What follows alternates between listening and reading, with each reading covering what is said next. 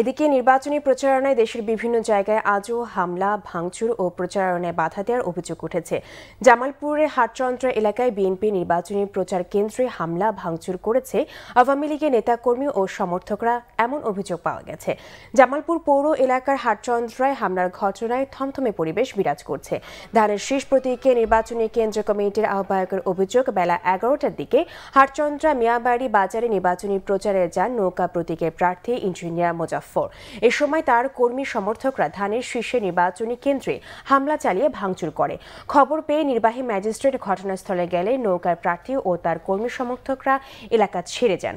এদিকে বুধবারের মধ্যে সেনা মোতায়েনের দাবি জানিয়েছেন রাজশাহীর ছটি আসনের বিএনপি প্রার্থী ও তাদের নির্বাচনী এজেন্টরা।